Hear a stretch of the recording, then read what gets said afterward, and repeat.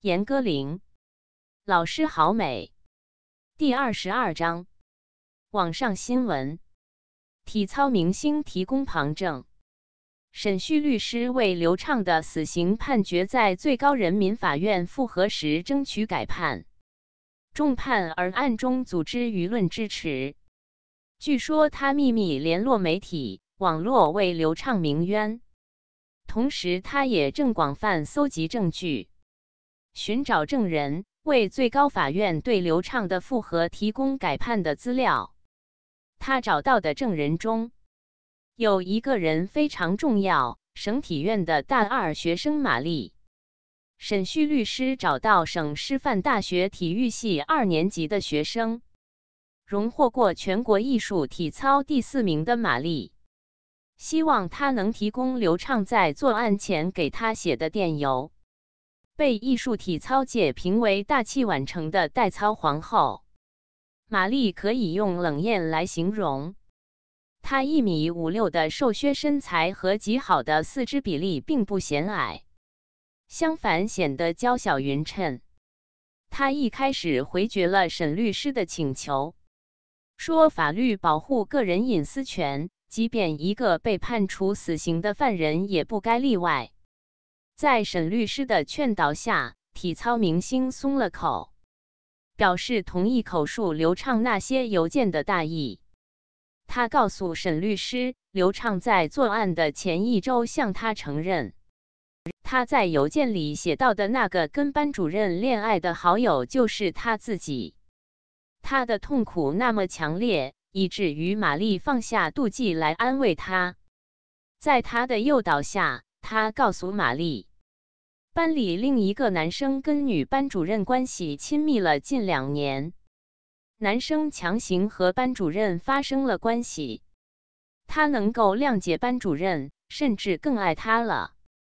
但班主任已有两三天不回他的短信。刘畅的最后一封电邮让玛丽特别担心，因为他说没有了女班主任的爱，即便考上好大学又有什么意思？活着又有什么意思？为高考承受了那么长时间的压力，受了那么多苦，没有爱不就是一场空？与其到时落空，不如现在就结束一切。从那以后，刘畅就没有再给玛丽写过任何邮件。当时他训练太紧张，不能从省里回来，只能给他一封接一封地发邮件，要他等他放暑假。他一定好好听他诉说，也劝他千万别昏头，为一个三十几岁的老女人寻死觅活，不值得。其实，在他作案之后，玛丽还一直在发邮件劝他。玛丽最后承认，刘畅生日那天，他确实快递了一件生日礼物——一支孔庙祈福笔。他想向他暗示，爱他的人很多。明面的、暗地的都有，不要钻牛角尖，不要瞅准一棵树把自己吊死。直到他家里人告诉他刘畅由于杀人被捕，他才放弃。玛丽会作为刘畅复审的证人之一，证实刘在作案前的心理状态，由于高考和失恋的高压，已经基本失常。师生恋受害人的父亲身患绝症。四月二十九日是邵天一被害周年忌日。五月一日，也就是邵天一忌日的第二天，一位网络记者来到新兴小区旁边的棚户区，想采访在去年师生恋中丧生的被害人邵天一的家长邵树稳和董素芳。邻居们亲热地称呼邵先生为邵老大，或者邵师傅。可见邵树稳在邻里是一位有相当亲和力的兄长式人物。记者走进那个破败的棚户区，邻居们热情地为他带路，并告诉他邵老大病得很重，很久不见他出来打牌了。当记者敲开邵家的门，出现在他眼前的景象令他吃惊，因为躺在外屋的塑料躺椅上的病弱男人，据介绍就是邵师傅。为记者开门的是邵家的女主人董素芳。一屋子人据介绍是邵师傅的徒弟们，以及他们的家属。除了邵家夫妇，众人都围着两张桌子在打麻将。邵师傅虽然卧病，但他的徒弟们还是把他摆置在一个利于观看牌局的位置，让他间接参与娱乐。邻居们称董素芳为邵大嫂，因此记者决定沿用这个称呼。记者注意到邵天意的遗像下面摆放了一个长条凳，上面放着一个小酒盅，里面装着土，插着几根焚香。条凳的另一边放的是一挂香蕉，一小筐苹果。这就是邵家为他们失去的儿子供摆的祭案。记者来到遗像前，默立了一会儿。等他转过身，邵大嫂轻声地说。天意从小就爱吃水果，不过他很懂事，知道家里穷，吃不起，就说他最不喜欢吃水果。这都是他爸的徒弟们送的。记者问：“最近邵师傅身体欠佳？”邵师傅的徒弟说：“不是最近，是从去年天一去了之后，打击太大，伤心伤肝伤得太狠了，一病不起。”邵大嫂向记者介绍，刚才说话的是邵师傅的大徒弟。除了他之外，邵树稳还有四个徒弟。大徒弟显然是最悲愤、最激动的那一个。此刻，二徒弟说：“富二代杀人，杀的是儿子，等于把老子也带进去了，非把那富二代枪毙两次不可。”记者问道。邵师傅是去年什么时候查出病来的？邵大嫂说：“就是天一走的那天，是我陪老邵去医院检查的。那天挂号是挂的挺靠前，不知怎么到下午才挨到我们的号。进了医生诊室，给他说了情况，才五分钟，一个人就进来，说是制药厂的，有什么药让医生给病人推荐。”医生就跟他谈上了，谈了十多分钟，又回来给老少看病，在老少肚子上按了按，就看完了，开了一大堆的单子，去这里拍片子，去那里查血。一个楼有五六层，一会儿上楼梯，一会儿下楼梯，折腾到五点多，要不然我们早就回到家了。早点回到家就不会出那档子事了。记者说：“那就是说，邵师傅的病其实在那件事之前就发作了。”大徒弟眼睛一瞪，呵斥他：“你什么意思？是不是帮杀人犯说话呀？那女董事长雇你来的吧？我师傅的确诊书是今年一月份才下的。”不是为儿子伤心伤出来的，不是给生气气出来的。你们这些腐败记者的良心都让那些富人收买了吧？二徒弟也说，他们富人的命值钱，我们下岗工人的命不值钱。记者该为劳苦大众，大多数人说话才对呀。记者赶紧服软道歉。不然他很可能在采访刚开始就终止，被轰出门去。记者问邵师傅的病有没有到上海、北京的大医院去找好大夫看看。邵师傅此刻自己开了口，声音非常低弱：“哪儿花得起那钱？凑合吧，只要不疼，我倒恨不得早点找天一去，别让孩子在那边做孤儿。”邵大嫂背过身，擦了把泪。记者也不免心酸，这真是一个处在绝境中的家庭。记者转开话题问道：“你们儿子的那个班主任一直没有露过面？”某徒弟的妻子打断记者：“他敢露面，非撕了他不可。骚货，跟谁搞不行？”搞自己学生。我就不明白，警察怎么还没把他抓起来？大徒弟说：“对，判他强奸少男罪。”二徒弟说：“法律不判他，咱自己判他。这种骚货，打死都不为过。”邵大嫂倒还算冷静，对记者说：“天一来家，总说他老师对他好，两年里没少帮我家忙。”还给孩子到学校申请到特困助学金，常常给天一天置东西，衣服鞋子都买过，还给他买吃的。我也见过这老师，人看着是不错的，谁想得到？大徒弟说，妖精都表面上看着不错，他现在不知藏到什么地方去了。要是给我们找到，没他好日子过。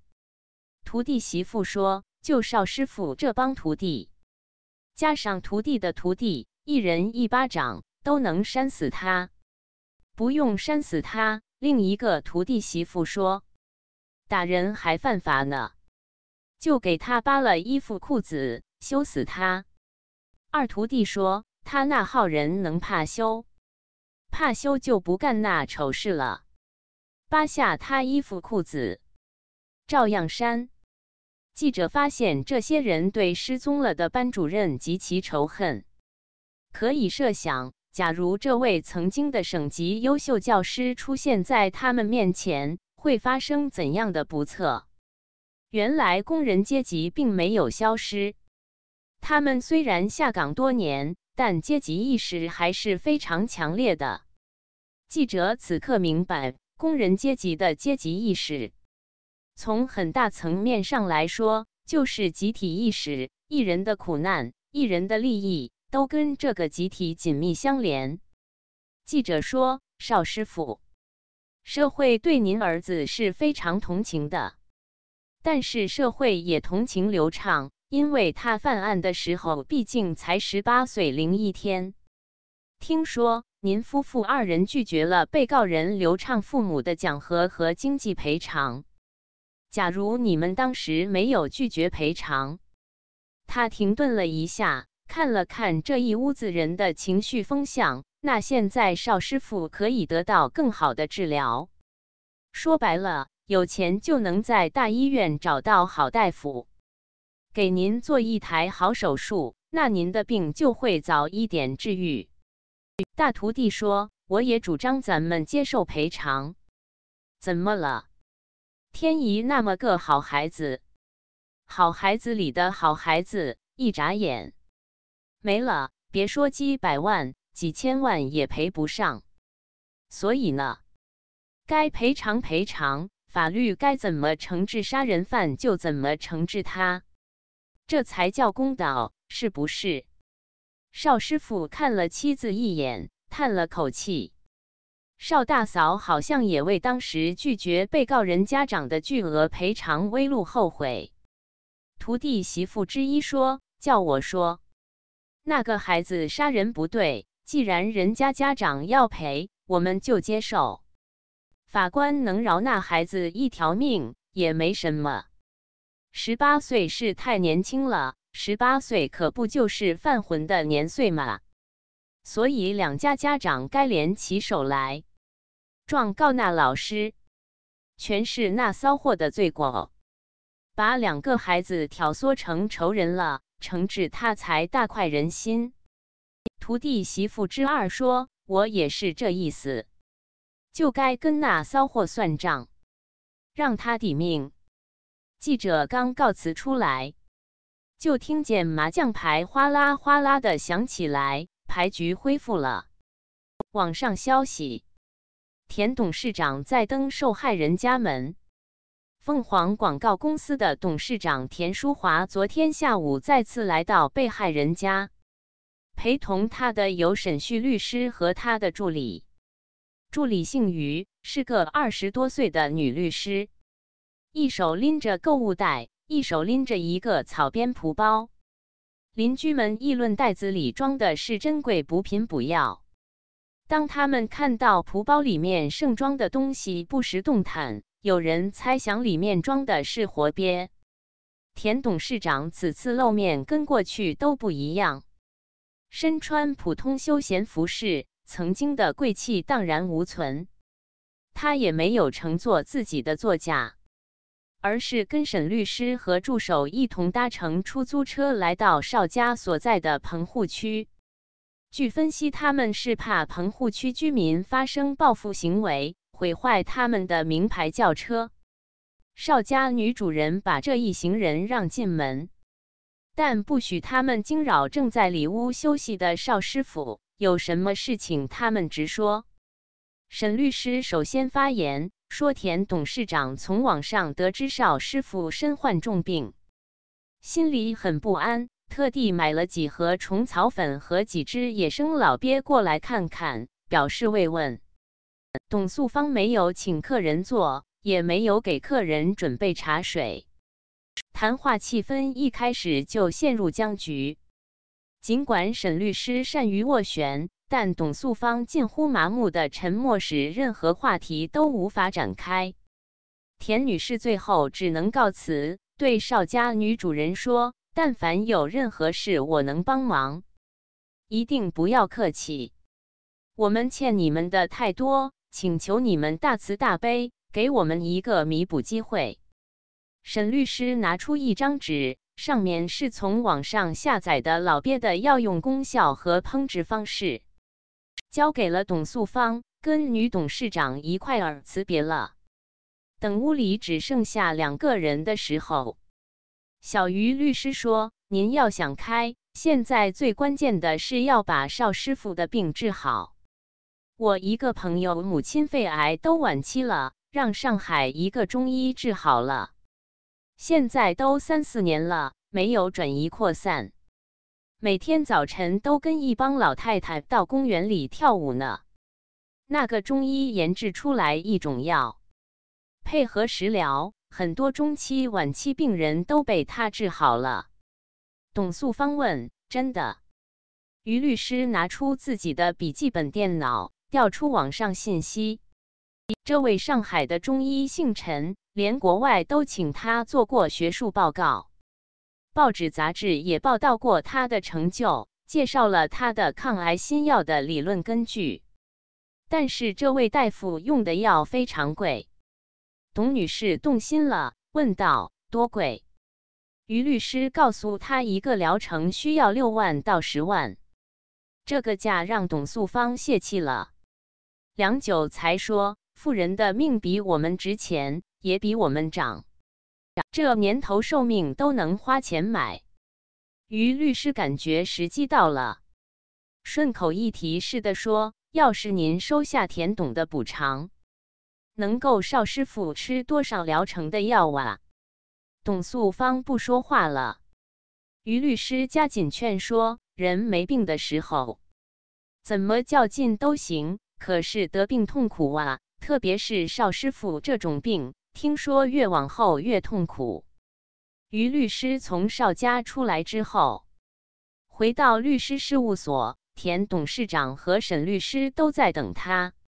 田董事长拿出做大生意的果敢和精明，叫于律师马上打印经过那位中医治愈的病人自述，给邵家夫妇连夜送去。然后向陈大夫订购一个疗程的药，以特快专递送到本市，最好在明后天就能让邵树稳开始服用。晚上九点多，他们给中医陈大夫打通了电话。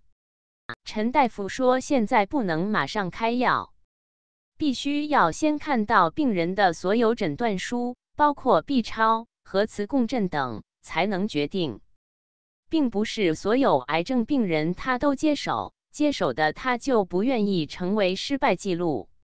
当晚，于律师赶到邵家，取到各种诊断书，拍下照片给陈大夫当即发了过去。第二天，陈大夫给沈律师发来电邮，说病人的肝癌已经过了他的药能奏效的阶段，但是病人的另一个选择就是死亡。并且可能死得很痛苦，不妨死马当活马医，能多活几天是几天。假如医药费不是顾虑的话，奇迹也有可能发生。田董事长受益于律师给他回信，告诉他尽管配药，不要顾忌药费，让奇迹发生。陈大夫终于同意接手邵树稳的病案，让田董事长这边将三万块钱汇到他诊所的账户，作为前一半药费，后一半不必马上汇，等病人的腹水下去，病情有所好转再汇。于律师怕这位陈大夫也像举国上下成千上万的欺诈之徒，收到钱就沉没人海，或者够不上欺诈。但也不像炒作的那样神医妙方，那么这三万块钱就成了肉包子打狗了。田董事长说：“这不相干。”小于律师奇怪为什么不相干，但沈旭律师马上领会了田董的意思，让于律师当即写邮件跟陈大夫订药。他说：“早一小时是一小时，跟癌症争夺生命。”一小时都不能拖延。笔者当然明白，此时为邵天一的父亲争夺生命，就是为田董事长的儿子争夺生命。所以网络认为田女士是个既懂舆论效应，又有政治头脑的商场老手。一旦邵天一的父亲有任何好转，田董就赢下了儿子的生命。就算没有丝毫好转，被告人家长的救助姿态毕竟是拿出来了，姿态将是正面的、高尚的，并且相当漂亮。这个正面姿态的亮相，会导致公众舆论进一步倾向同情流畅。在最高法院复核时期，公众的同情舆论会作用于审判员们的裁定、改判或发回原地重判，那是事关生死的终极裁定。因此，刘畅家长会紧紧抓住这机会，争夺下刘畅十九岁的生命。昂贵的中药不是被特快专递送到本市的，而是陈大夫派专人乘动车连夜送达的。因为陈大夫怕邮差出差错，丢失邮包，或者药里的贵重药物被偷窃或调包。第二天。沈律师和小鱼律师拎着上海送达的贵重中药来到邵家。一个邻居告诉他们，董素芳到新兴小区做钟点工去了。邵师傅好像在十二号串门。两位律师觉得怪异，病那么重，他怎么就串起门来了？在那排简易房的最后一间找到了邵师傅。他们简直不能相信自己的眼睛，因为邵师傅正热火朝天的跟邻居们打麻将。他们走进门，拿出几包中药，向邵师傅说明：田淑华董事长有交代，要跟疾病争夺时间，时间就是生命，所以他前天晚上跟上海的大夫下了订单，为他订购了药品。药刚送到，他们就给拿过来了。邵师傅好像有点懵懂的看看那几包药，问道：“你们这是给谁送药？”沈律师好奇怪，说：“邵师傅忘了，田董给您买的药啊，今天刚从上海送过来。”邵师傅更糊涂了，说：“给我买药，我这不好好的吗？”沈律师和小鱼律师互相看了一眼，围坐一圈的牌友都在抽烟喝啤酒，每人跟前的桌面上都放着荷叶包，里面包着眼看要风干的卤菜。坐在邵师傅旁边的一个中年男人起哄，要邵师傅出牌。二十四岁的小于律师凑到邵师傅耳边说。您的检验报告给上海的陈大夫看了，他觉得用这药治您的病还是对症的。陈大夫一般不接手自己治不好的病人，仔细看了您的病历和检验报告，马上就同意开药。邵师傅，要不我先帮您把药煎上？邵师傅说：“这年头骗子太多了，假大夫、假药到处都是。”正经药房还卖假药呢，更别说这么个见都没见过的大夫。他给我开的药，虽说是有人大把花钱买单，我就敢吃。钱是他的，命是我的，钱给骗了还能挣，命吃没了谁负责呀？沈律师和小鱼律师都傻了。邵师傅说的也有些道理，不能因为人家花几万块钱请你吃药，你就得吃。到底是药，不是宴席。邵师傅拿起一瓶啤酒，喝了一大口，又说：“你看，我这不好好的吗？没事吃药玩儿啊！你们大家都明白，什么都能吃，就是药不能瞎吃。”烟雾腾腾的屋子里，半醉的牌友们都认同邵师傅，说绝对不敢瞎吃药，再贵重的药他也是要。沈律师是一个人离开的，把小鱼律师留下等候董素芳。小鱼律师等到晚上九点，董素芳还没有回来，给他打手机，他也不接。小鱼律师判断董素芳是有意躲开他的。网上评论：曹果支持受害人家长，水立方受害人的父母让被告人的家长碰软钉子。